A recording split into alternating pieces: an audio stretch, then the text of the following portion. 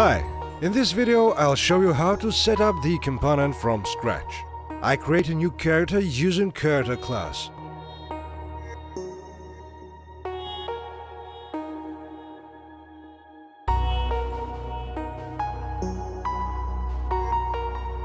Then I add skeletal mesh.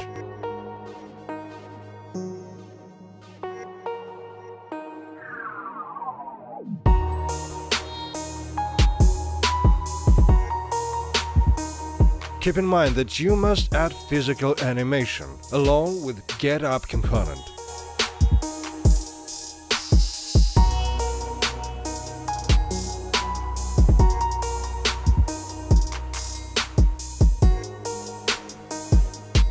I copy default character control code, do not waste your time.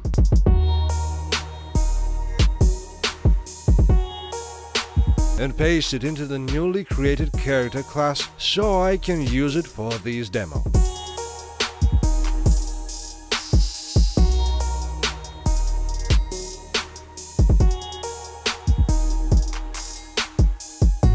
Then I add camera. This is default logic. Let's increase distance a bit for a better view. These steps are not required for components functionality.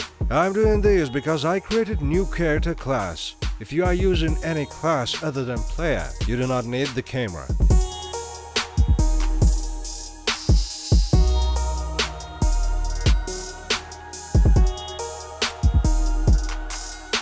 I add a new character into the scene. Then enable auto possess player for this character and disable it for the old one.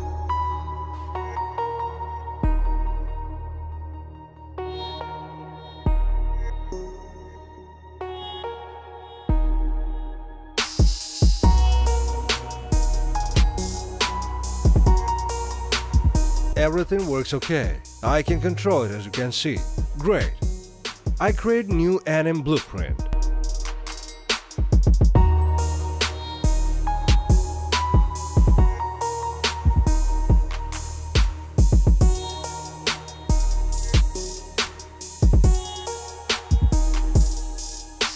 Then copy and paste logic from the old one. You do not need this if your character already has movement behavior. I'm doing this for demo purposes, so character could idle and run as default one. Component setup also does not require these steps.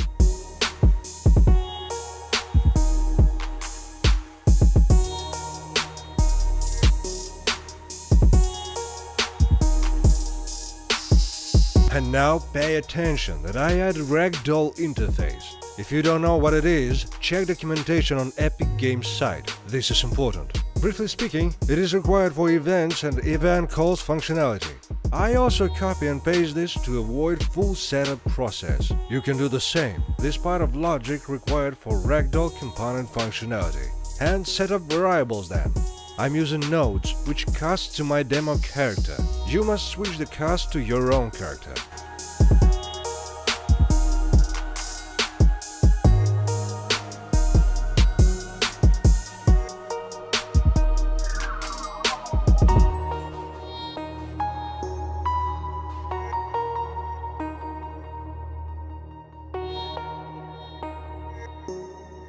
You must replace it or call all events again.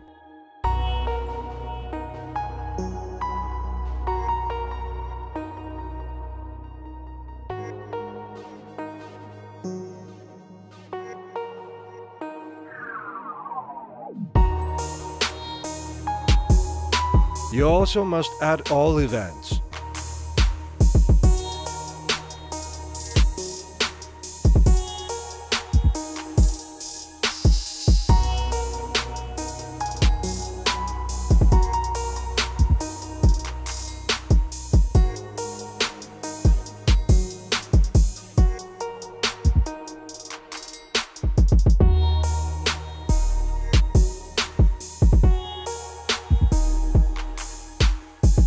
Events colored with red are anim notify. Open montages and you can see it. This is base knowledge. Check the documentation on site of Epic Games to learn how it works.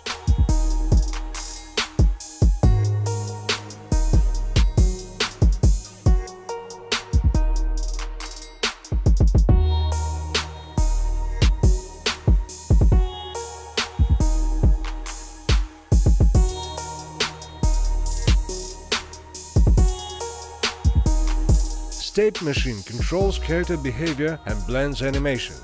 I'll take it from the default character. Here is an important step. I add slot. It's required for montage functionality. You may have a different ones if you name them differently. I'm using default slot.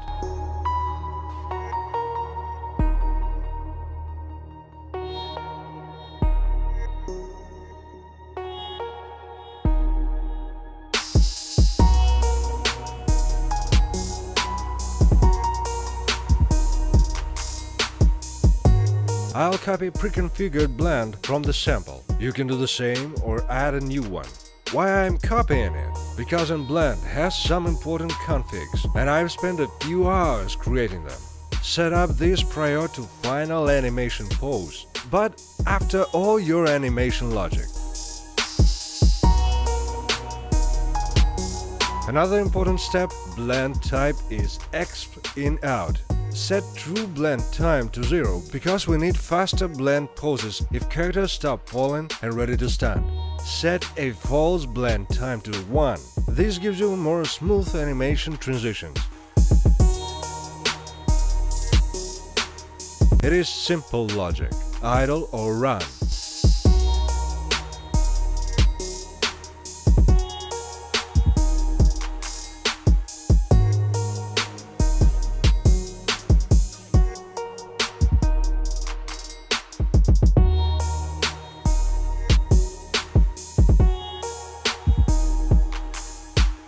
Attention that I add a new state and name it fall logic. You can name it whatever you want.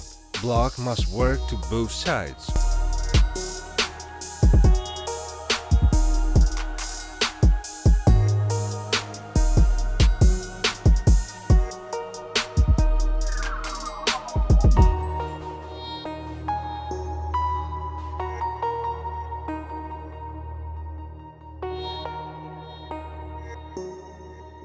Let's compare variable isPlayerFall with true.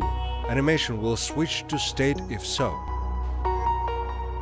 And state existing block with false.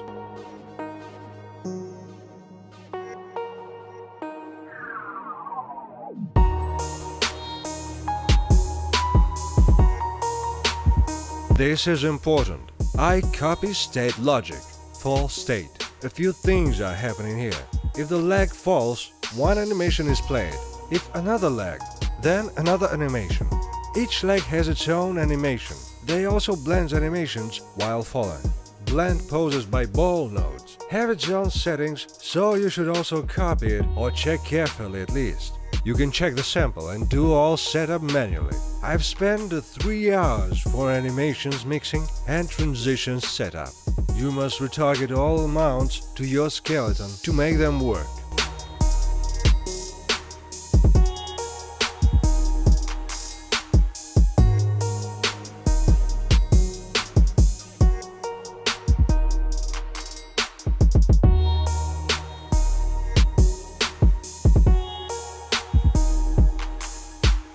I check if everything is correct.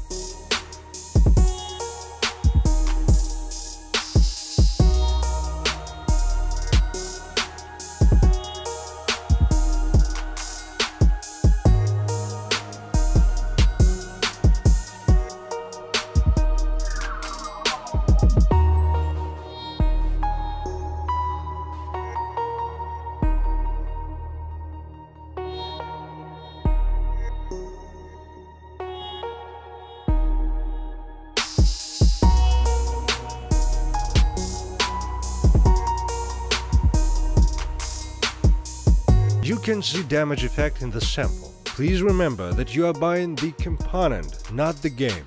All you need is call events from Ragdoll and connect it to the event. The component will do the rest. I'm showing where I get this event. I attach the event to character damage effect, rocket explosion in our case. Let's check that character will get a damage only from the rocket and call an event ragdoll effect. Everything is simple. I've spent a month creating the component. That's why I use some time copy and paste in this video. Otherwise, it would took too much of your time. Sorry, I haven't shown an important thing. In skeletal mesh, you must set UE4 underscore mannequin underscore physics asset from the demo character. It will work differently. You can do a retarget for this asset if you are using another one, or just use this one. More info about how to make a physics asset retarget you can find on product page or from link in the description. That's it. Good luck!